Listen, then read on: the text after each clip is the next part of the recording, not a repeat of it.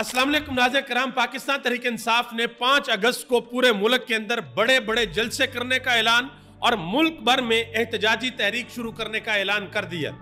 याद रहे कि पाँच अगस्त वो दिन है जिस दिन इमरान खान को गिरफ़्तार किया गया था और पाँच अगस्त की शाम को पाकिस्तान का मीडिया, पाकिस्तान के बड़े बड़े फन्ने खान सियासतदान ये कह रहे थे कि न्याजी बर्दाश्त नहीं कर सकेगा।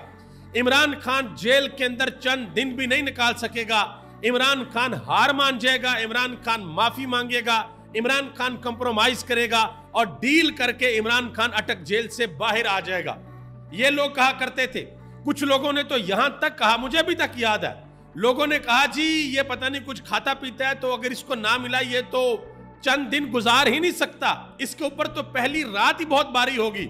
और इमरान खान ने अब तकरीबन एक साल हो गया, पाँच अगस्त को तीन सौ पैंसठ दिन मुकम्मल हो जाएँगे।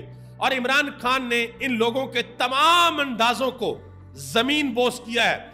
इमरान खान ने वो लोग जिनकी बड़ी ये ख्वाहिश थी कि किसी तरीके से इमरान खान कॉम्प्रोमाइज कर ले, ताकि हमारी जो दुकानें चल रही हैं, वो दुकानें चलती रहें। इमरान खान ने उनकी दुकानें भी बंद की हैं और मजीद अभी भी कुछ लोग हैं जो इमरान खान के नाम के ऊपर दुकानें चला रहे हैं। उनकी दुकानें भी बंद होने के लिए जा रही हैं। इस हवाले से एक बड़ी खबर मैं आपको दूँ दो दिन कबल इमरान खान का बयान आया, अडयाला जेल से कि हम नए इलेक्शन चाहते हैं। अब इमरान खान साहब नए इलेक्शन क्यों चाहते हैं? इसकी सबसे बड़ी वजह क्या है? ये तरीके इंसाफ ने पार्टी लेवल के ऊपर ये बात कह दी है। उसकी सबसे बड़ी वजह यह है कि इमरान खान ने जिन लोगों को टिकट दिए हैं और जिन लोगों की रिकमेंडेशन पे टिकट दिए गए तो इमरान खान पूरी लिस्ट मांग रहे हैं अडयाला जेल के अंदर। अभी तक तरीके इंसाफ की ऊपर वाली क्यादत वो लिस्ट इमरान खान को नहीं दे रही। अब इमरान खान क्या चाहते हैं? इमरान खान ये चाहते हैं कि नया इलेक्शन इस मुल्क के अंदर हो और वो इलेक्शन ऐसा हो कि पूरी दुनिया उस इलेक्शन को माने और वो इलेक्शन पाकिस्तानियों की मर्ज़ी और मंशा के मुताबिक हो कि लोग निकले। किसी पार्टी से उसका इंतखाबी निशान ना छीना जाए, किसी पार्टी के उम्मीदवारों को गिरफ़्तार ना किया जाए, किसी तयद कनुंदा या तजवीज कनुंदा को ना उठाया जाए फिर पाकिस्तान के अंदर इलेक्शन हो और इस वक्त जो लोग पाकिस्तान तरीके इंसाफ की टिकट के ऊपर सूबाई असम्बलियों में या नेशनल असम्बलियों के अंदर है, इमरान खान 30 से 40 फ़ीसद लोगों को टिकट नहीं देंगे। बेशक इमरान खान अडयाला के अंदर बैठे हुए हैं या इमरान खान अटक जेल रह कर आए हैं, लेकिन अंदर बैठ के इमरान खान को सब पता है कि बाहर कौन क्या कर रहा है, कौन मज़े ले रहा है, कौन मेरे बयानिए के साथ खड़ा है, कौन मुश्किलें बर्दाश्त कर रहा है, किसने गिरफ्तारियाँ भुगती हैं किसने अपना माली नुकसान करवाया है? कौन चौदह चौदह महीने जेलों के अंदर रहा है? ये सब कुछ इमरान खान को पता है। अब इमरान खान की पार्टी ने ऐलान किया कि भाई, पाँच अगस्त को जिस दिन इमरान खान को गिरफ़्तार किया गया था, हम उस दिन मुल्क भर के अंदर बड़े बड़े जलसे करेंगे और उस दिन हम एक एहतजाजी तहरीक पाकिस्तान भर में शुरू करने के लिए जा रहे हैं। इमरान खान अंदर बैठा है और ये बाहर वालों का बहुत बड़ा इम्तहान है।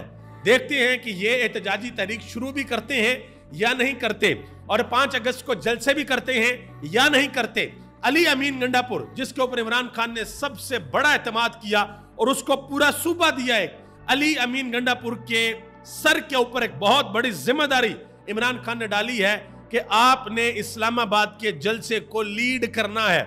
अब अली अमीन गंडापुर इस्लामाबाद के जलसे को किस तरीके से लीड करते हैं? खैबर पख्तूनख्वा से कितने लोगों को इस्लामाबाद लाने में कामयाब होते हैं? अब ये अली अमीन गंडापुर के सर के ऊपर क्योंकि इस वक्त मुल्क में जो मकबूलियत की लहर है, वो सिर्फ़ इमरान खान का नाम है। इमरान खान की मकबूलियत के बराबर दूर दूर तक कोई नहीं है। दूर दूर तक कोई नहीं है। ये इमरान खान की पार्टी भी जानती है और इमरान खान के मुखालफिन भी जानते हैं। सब के सब ये जानते हैं। लेकिन इसके बावजूद पाकिस्तान तरीके इंसाफ के बाहर इस वक्त जो लीडरशिप है, आम आवाम का और पाकिस्तान तरीके इंसाफ के वोटर्स और सपोर्टर्स का उनसे हर वक्त यह गिला रहता है कि हमारा लीडर इमरान खान अडेला जेल के अंदर है।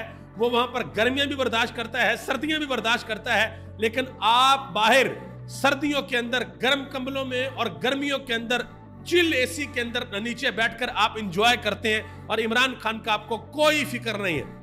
ये इमरान खान का वोटर बात करता है। अब देखते हैं कि इस चीज़ के ऊपर जो पाँच अगस्त के बाद जो एक एहतजाजी तहरीक चलनी है ये किस तरह चलती है, इसके अंदर कितनी शिद्दत आती है। मजीद असद कैसर ने एक बहुत बड़ा इंकशाफ किया है। उन्होंने कहा कि हमारे इकतालीस एम एन एस को इंटेलिजेंस अदारों की तरफ़ से दबाव का सामना है। इन्हें वफादारी तब्दील करने की सूरत में पैसों की और वजारतों की पेशकश की जा रही है। नाम मानने की सूरत में एंटी करप्शन के केसेस बनाए जा रहे हैं। और शेख वकास ने भी एक बड़ी अहम बात की। उन्होंने कहा कि इस वक्त तरीके इंसाफ के अंदर दो किस्म के लोग हैं। उनतालीस लोग वो हैं जिनको इलेक्शन कमीशन ऑफ़ पाकिस्तान ने डिक्लेयर कर दिया है कि ये पीटीआई के लोग हैं। और इकतालीस लोग वो हैं, एक तरफ़ उनतालीस हैं, एक तरफ़ इकतालीस हैं। इकतालीस वो हैं जिन्होंने अपना बयान हल्फी जमा करवाया है और इलेक्शन कमीशन ऑफ़ पाकिस्तान उनके बयान हल्फी को देखकर सुप्रीम कोर्ट का फैसला मानकर, उनको पाकिस्तान तरीके इंसाफ के नाम से नोटिफिकेशन जारी करेगा कि ये तरीके इंसाफ का हिस्सा है और जो मखसूस नशिस्तें हैं और इस तरह से पाकिस्तान तरीके इंसाफ कौमी असम्बली के अंदर सिंगल लार्जेस्ट पार्टी बनेगी। सबसे बड़ी पार्टी बनेगी। तो होता कुछ यूँ है कि वो जो उनतालीस हैं, जिनका नोटिफिकेशन जारी हो गया, उनमें से किसी एक को कॉल आती है। और कहा जाता है कि जी, हमने आपसे मिलना है। उस बंदे ने आगे से कहा कि भाई, मैं इकतालीस वालों में से नहीं हूँ, मैं उनतालीस वाले में से हूँ, मैं ऑलरेडी पीटीआई के अंदर हूँ। तो आगे से फिर कहा गया कि ठीक है, आप करें, मौजे करें। तो ये हालात हैं। उमर अयूब खान ने एक बड़ी अहम बात की। वही बात जो इमरान खान भी कर चुके हैं, अली अमीन गंडापुर भी कर चुके हैं। और आज तीसरी मरतबा उमर अयूब खान कर रहे हैं। और इस बात की वजह से पाकिस्तान मुस्लिम लीग नून अच्छी खासी परेशान है कि भाई अब हम क्या करें? वो बात क्या है? उन्होंने कहा कि इमरान खान ने पाकिस्तान के आर्मी चीफ को दो दिन पहले पैगाम दिया था कि मौजूदा रजीम फौज को और अवाम को पाकिस्तान की सबसे बड़ी सियासी जमात को आपस में लड़ाना चाहती है, जिसका नुकसान सिर्फ़ पाकिस्तान को होगा। यह इमरान खान की तरफ़ से एक पैगाम गया है। अब देखते हैं कि इस पैगाम का आगे से जवाब क्या आता है। कोई प्रेस कॉन्फ्रेंस होती है या फिर मुनीब फरूक साहब फैसल वाडा साहब सुहेल वड़ाई साहब नजम सेठी साहब या मतलब ये लोग आगे से पैगाम लेके आते हैं। अब देखते हैं कि आगे क्या चलता है। अगली खबर आपको देता चलूँ कि रऊफ हसन साहब और पाकिस्तान तरीके इंसाफ की एक सोशल मीडिया एक्टिविस्ट एक नौजवान लड़की आ, कल उनको गिरफ़्तार किया गया था। आज उनकी अदालत के अंदर पेशी थी और सनम जवेद भी अदालत के अंदर आई और लोग भी आए। उस लड़की के वालद भी आज आए। वो बिल्कुल ज़यीफ थे। बैसाखियों का सहारा लेकर आज अदालत के अंदर पहुँचे और जब उन्होंने अपनी बेटी को देखा, ये बेटियों वाले इस बात को अंडरस्टैंड कर सकेंगे। जिनकी बेटियाँ अल्लाह ताला सब की बेटियों को महफूज रखे सब की इज्जतों को अल्लाह अपने हबीब सलाम के सदके महफूज रखे। अगर किसी की बेटी को गिरफ़्तार कर लिया जाता और इस माहौल में, इस जबर के माहौल में जो पाकिस्तान के अंदर इस वक्त है तो उस बाप की क्या हालत होती होगी? ये बेटियों वाले अंदाज़ा लगा सकते हैं।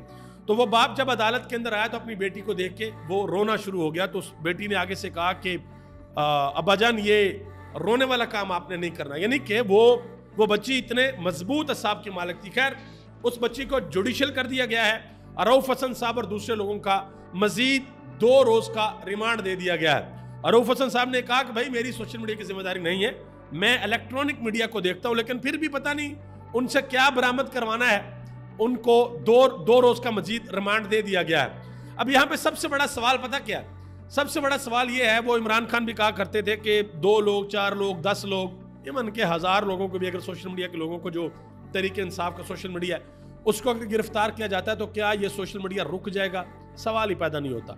इमरान खान अक्सर ये कहा करते थे कि ये जो मेरे मुखालफी हैं, इनको पता ही नहीं कि सोशल मीडिया काम कैसे करता है। इनको अंदाज़ा ही नहीं है। सोशल मीडिया पब्लिक की आवाज़ है, पब्लिक की आवाज़ है। एक, जब किसी के पास फ़ोन आ जाता है तो लोग उस फ़ोन के थ्रू अपनी राय का इजहार करते हैं और वो फिर सोशल मीडिया की ताकत बन जाती है।